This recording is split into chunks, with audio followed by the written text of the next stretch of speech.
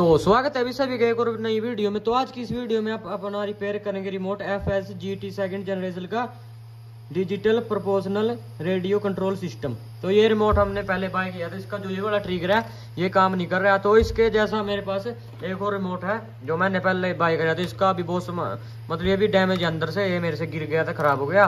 तो हम इसका जो ट्रिगर है एक्सचेंज करेंगे। मतलब जो ये वाला ट्रिगर है, मेरे को लगता है ये सही है।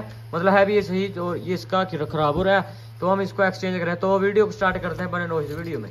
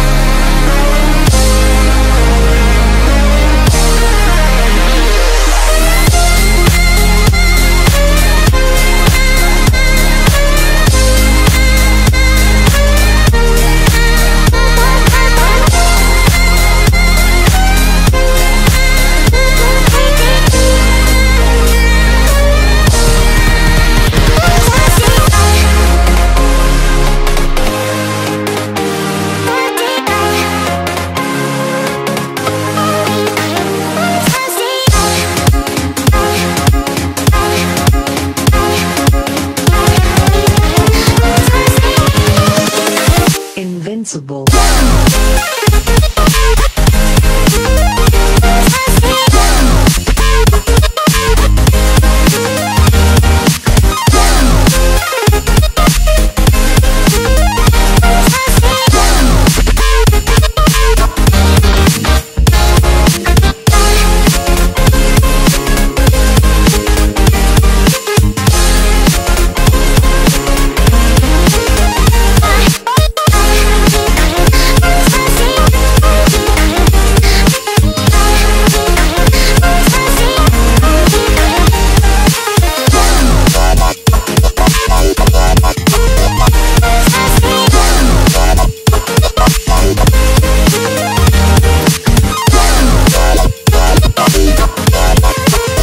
तो दोस्तों, जैसा कि आपने देखा, अपना जो ट्रिगर था वो आपने चेंज कर दिया था।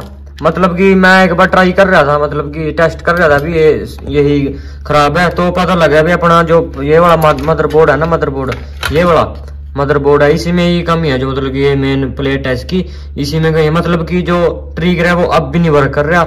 मतलब कि नया है ट्रिगर मैंने चेक किया अभी मतलब ये तो नया है, मैंने मैंने यकीन है कि ये चल रहा है। मतलब ये ये तो सही है। मतलब इसी में ही कमी है कोई। तो भाई, आप ये जो सा एक बार एक और बार ट्राई करते हैं, जो उसकी ये प्लेट है, ये इसमें डालते हैं, ये बड़ी प्लेट है, इसमें डालते हैं, फिर जाके ट्राई करते हैं क्या रहता है, क्या नहीं। तो दोस्तों, जो अपना मदरबोर्ड था, वो हमने एक्सचेंज कर दिया। है एक बार मैं ऐसे पहले मतलब कि मैंने एक बार ट्राई तो कर लिया मतलब सब ओके चल रहा है। मैंने थोड़ा सा एंटीने की जो वायर है, निकाल के आराम से कट दे के फिर एडजस्ट किया है। बाकी अपने वायर वही वाली लगा दी। तो ये पहले इसको मैं बंद कर लूँ, उसके बाद आपने इसका परफॉर्मेंस दिखाऊँगा। पहले ने, पहले जिस तरह सेट कर ले।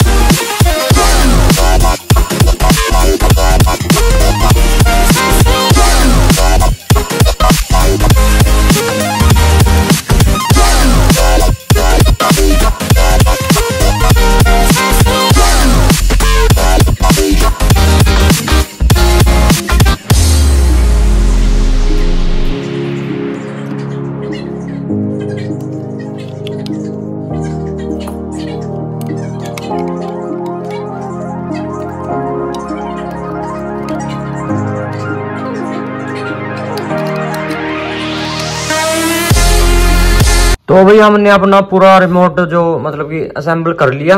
तो अभी जल्दी इसकी वीडियो आ जाएगी। इसके रिमोट के यूज़ की, जो अपनी कंपाइन पे काम तैयार कर रहे हैं तो साइड में रख दू मैंने ऐसे रखे हुआ था। तो अपने कंपाइन पे काम स्टार्ट जल्दी इसके साथ इसकी वीडियो आ जाएगी वायरलेस करनी है। तो मिलते हैं जल्दी भाई नई वीडियो में। जी जिस भाई ने वीडियो बढ़िया लगी हो लाइक शेयर कमेंट ज़रूर करियो भाई।